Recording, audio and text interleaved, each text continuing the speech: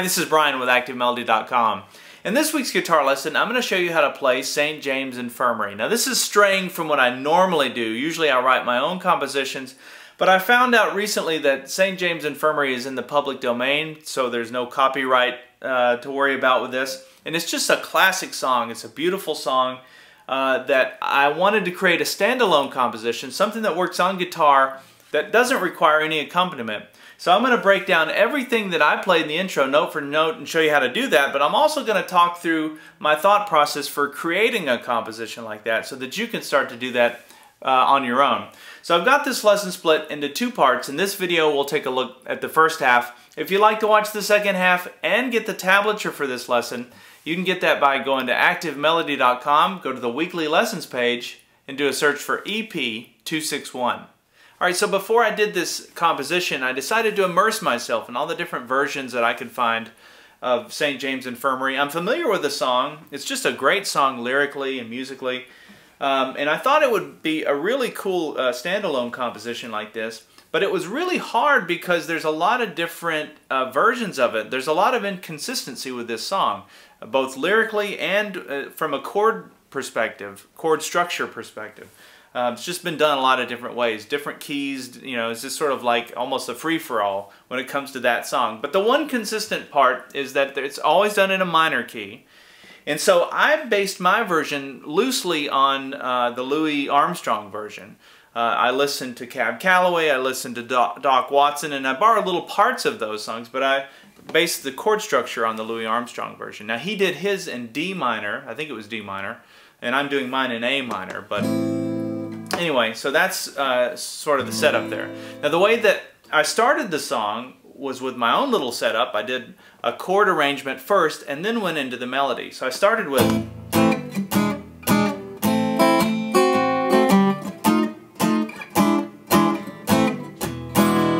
And that's just to set it up. Now I tried doing it the other way. Originally I was just starting right into the melody and it was too uh, too abrupt. You didn't have a point of reference, and so I kind of figured that out, that it, it needed something, and so I came up with just a little playthrough of the chords there. Now let me uh, talk through that, and, uh, and, then we'll get into the, the melody part. But the way that I'm playing these chords, and these are all downstrokes with the right hand, by the way. It's just down, down, and you don't let them ring out.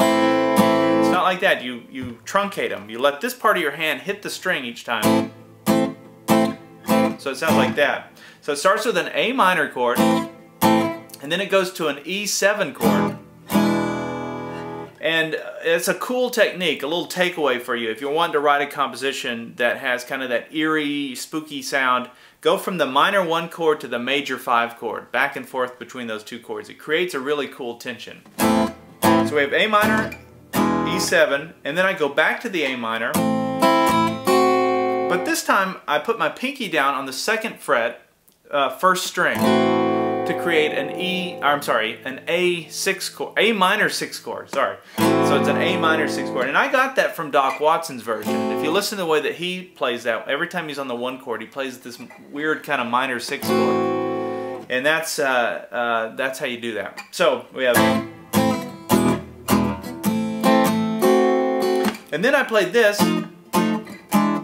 So that's an F7 and an E7. And the way that I'm playing that F7 there, and I apologize for this guitar because I don't have fret markers on it. I know that frustrates people, and I'm sure I'll see it in the comments, but uh, I'll try and work around that and call it out. Uh, if you if you play a C chord down in first position, you know how to play a C. You just slide that all the way up. So now that now your ring finger is up here, and this is the eighth fret.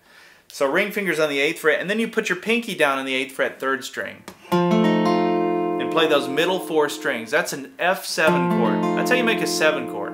A real easy way to make it. And then you slide that down one fret, and that's an E7. So now we're playing an E7 down here, and we're playing one up here as well. So we have...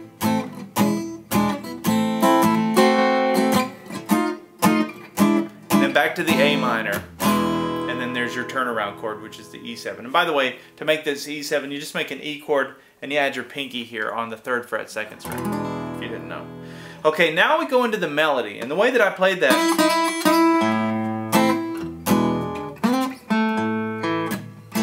we're going to learn that first. Now, the way that I wrote, or didn't write it, but composed it, I guess, was to pick out the melody on its own. Uh, no chords, nothing, just single strings. So it sounded like that, very simple. The kind of thing you could do on a piano with just one finger. And then I worked the chords around that. And I chose the key. You always have to pick the key first if you're wanting to write a composition like this. And obviously you could do it in any key. But I always try and find those keys that have those open strings. And so I settled on the A key of A minor because it allowed me to play. Hear that? For that, uh, for that very first part, it kicks it off with a nice punch. And I'm taking advantage of that open E string, the one string. So the way that I play that uh, you can use, I'm, i think I'm using my middle finger for that, but it's this is the fourth fret, second string, and I slide up to the fifth fret, second string. But I'm also hitting the open one string with that, the E string, so you have real big full sound. It makes that single string thing, it just sort of amplifies it. And then I come down and hit the open fifth string, and then I hit the A minor chord. That's another advantage, or you're seeing the advantage, I guess, of the open string by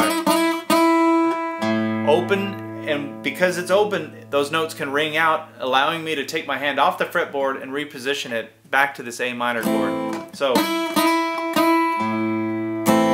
now the next thing that I play goes like this. So that's just the E7 chord again but I start with the low E string or the 6th string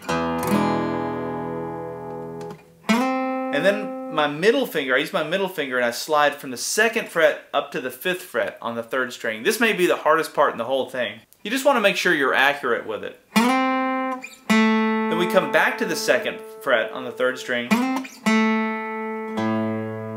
And then you hit the open fifth string, so you have...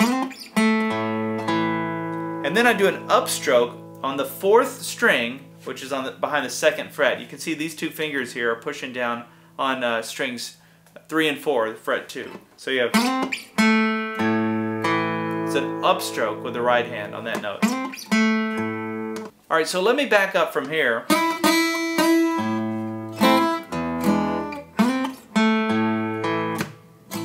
And then notice I played another A minor chord after that.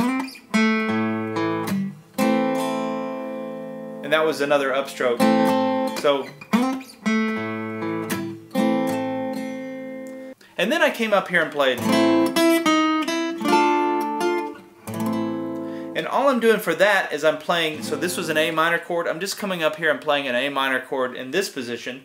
So we're barring, this is the fifth fret right here.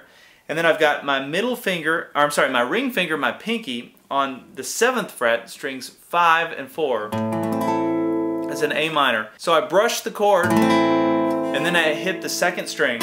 So pinky comes off. I keep the bar there. So my pinky goes to the 8th fret 3rd string so that I can hit that note with a downstroke and then do an upstroke on the second string again, which is behind the bar here on the 5th fret. So we have... And then the D minor chord. So at this point, I'm just keeping the bar there, and now these three fingers are making the A minor chord shape. Think of the A minor down here if you were playing it up here so that your ring finger and your pinky are on the seventh fret there. And then you're barring on the fifth fret. You just play strings 5, 4, 3, 2, and 1. And then you hit the second string again, which is now that note. So we have... And then back to the A minor chord. So all together we have... And then the turnaround chord, the 5 chord, and I just went back to that E7 chord that I showed you in the intro. Just went right into that because it's right here. It's a convenient uh, place for it. So, let's take it from...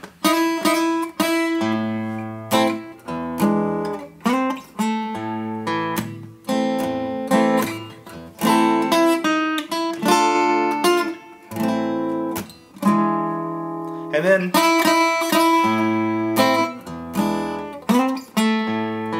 right back into the same uh, melody line. What's nice about this is when I play that turnaround chord, that E7 chord, my finger, fingers already, my index fingers already in position there on the 5th fret 2nd string. And I can do that same little slide like we did the first time using my index finger this time. Because it's already in that E7 chord.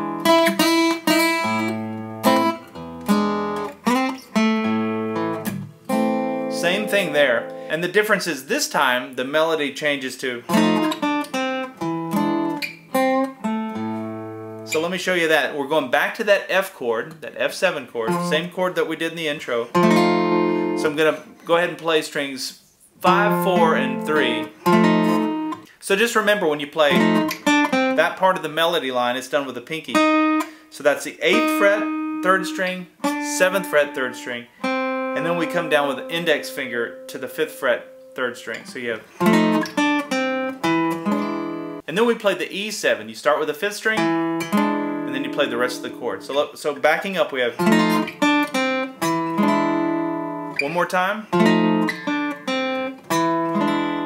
And then I come all the way down here and play, think of your A minor chord. If you were just playing strings two and three out of that chord. So you have, and then after that, I hit the, the fifth string, the open fifth string, the A And strum the A minor chord one more time.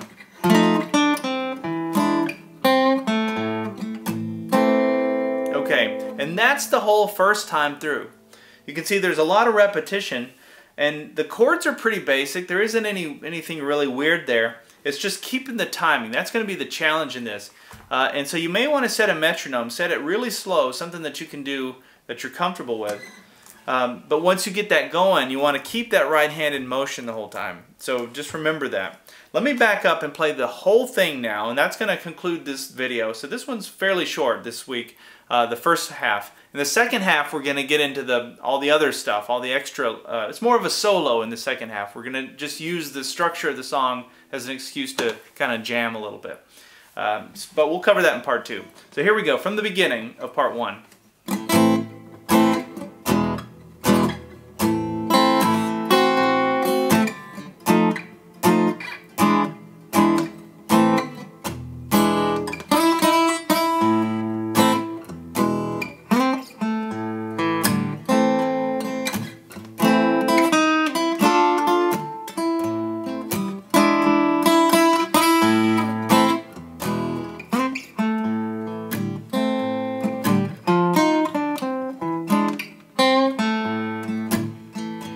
Try just looping that over and over again. All right, we'll see you in part two.